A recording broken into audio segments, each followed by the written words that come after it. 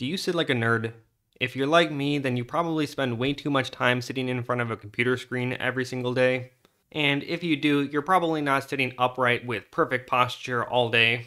And I was like this for a long time. Every once in a while, I would get inspired by, I don't know, reading a Reddit thread telling you how important proper posture is.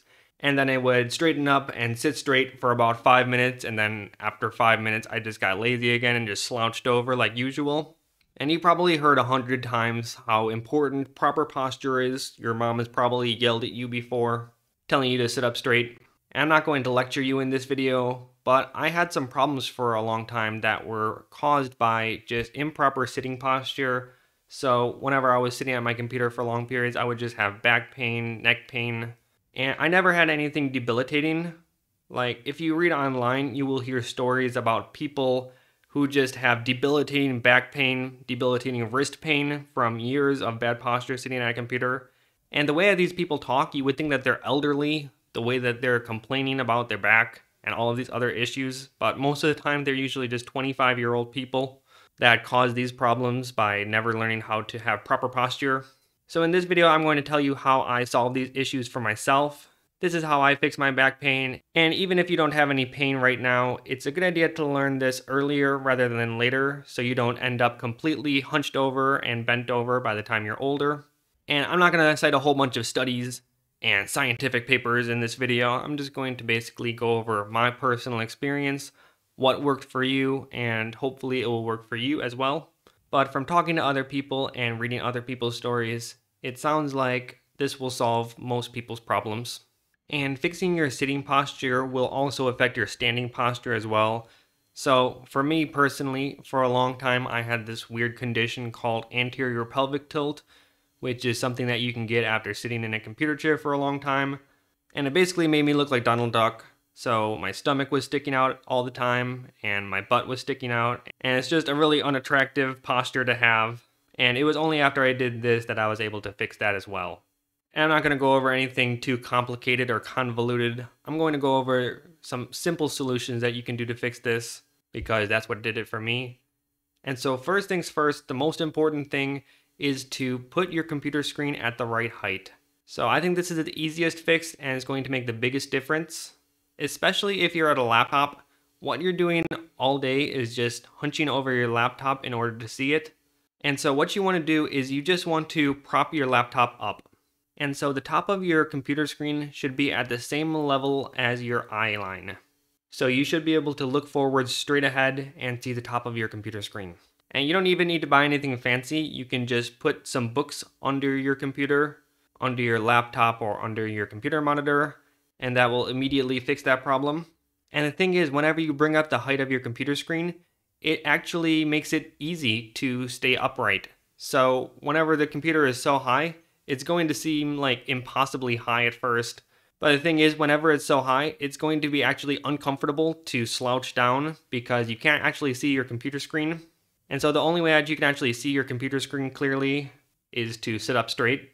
So it makes reminding yourself to have good posture almost automatic. And if you want, you can get a computer stand. I have this one that I personally recommend, and I like it because it can fold up and you can put it in a backpack if you're going out to work somewhere. And so I use this a lot. Sometimes I'll be working at a coffee shop and I'll pull out my laptop stand. Yeah, I'm one of those guys who goes to coffee shops and pulls out a million things and sets up his computer there. But it really does help. But of course, if you use a laptop and you set your computer height higher, then your keyboard is going to be way off the ground. And so the second biggest recommendation I would give you is to buy an external keyboard of some kind. I just have a cheap Bluetooth keyboard that I got online, but you can use anything and of course a computer mouse instead of your laptop's trackpad. And that's because whenever you sit, you also want to keep your arms at a 90 degree angle. This is going to give you less wrist pain, and it's more of a natural position for your arms. So maybe if your chair is too low, you can just do something like put a pillow under your chair, just so whenever your arms rest at your desk, they're close to a 90 degree angle. Some people claim that you need to go out and buy a $1,000 office chair in order for perfect ergonomics. But I don't really believe this. At home, I just have this junky old chair that I've had forever. And if I go out to a coffee shop, you know that they don't always have the most perfect chairs for you to sit in. So if you want to, a better chair probably will make a difference, but it's probably not as big of a difference as you would think. Just doing these basic things first is going to make a much bigger impact than buying a different chair or a different mouse. I actually went and bought a $100 mouse before that's more ergonomic. Don't buy it, it was junk, it was a total scam. But now I'm just using this really basic mouse and it does the job for me.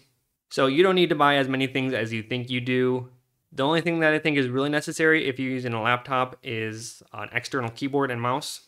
And even when you're on your phone, if you use your phone a lot and you're always hunched over, try to bring the phone closer to your eye level. It's going to look really weird to other people when you're holding your phone straight out in front of you, but it really does help. And of course, the best phone posture is just to not use your phone as much. But that's a whole nother video.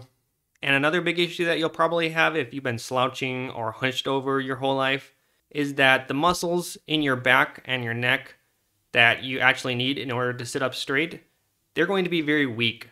So the first time you probably sit up straight and you try to do it for a long time, it's going to be actually uncomfortable. You're not going to like it. And that's because the muscles in your back and neck are now, for the first time, actually having to hold your head up.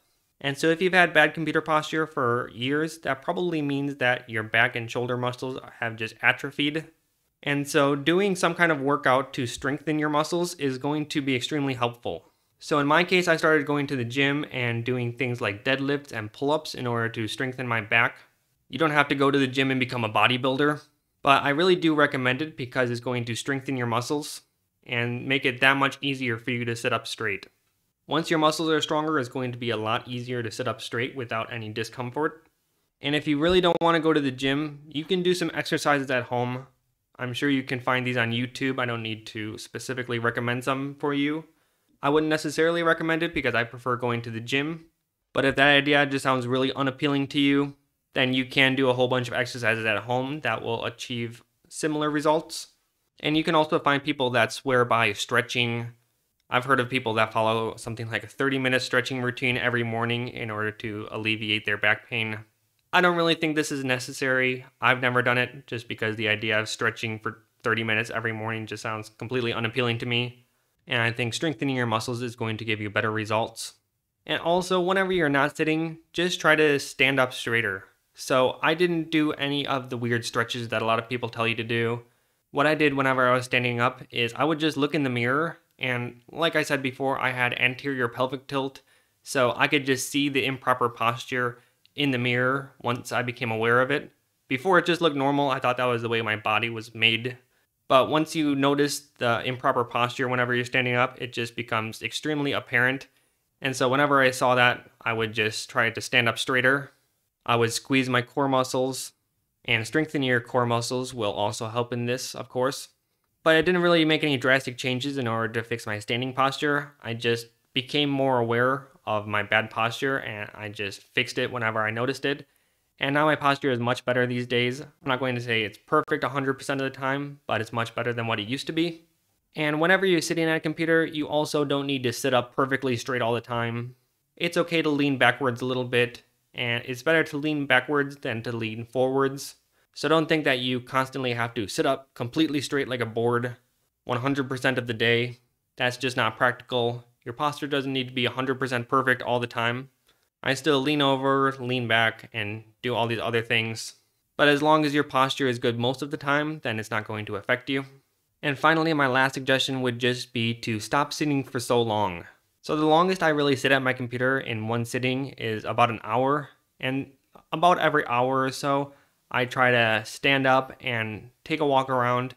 I usually go outside and take like a five minute walk just down and up the street and then come back.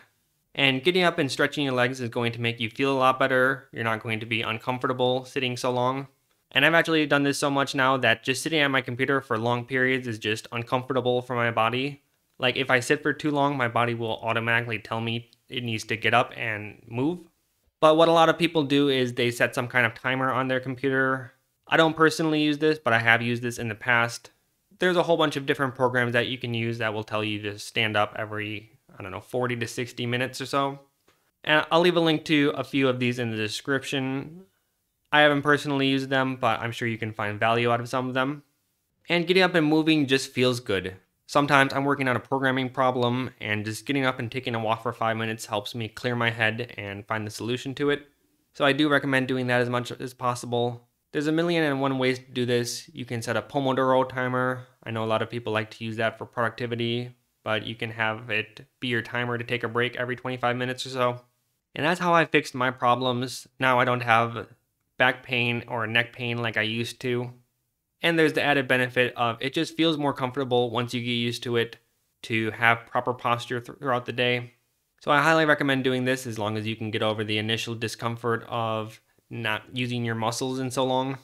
And so hopefully this video helped you out and now you can stop sitting like a nerd all the time.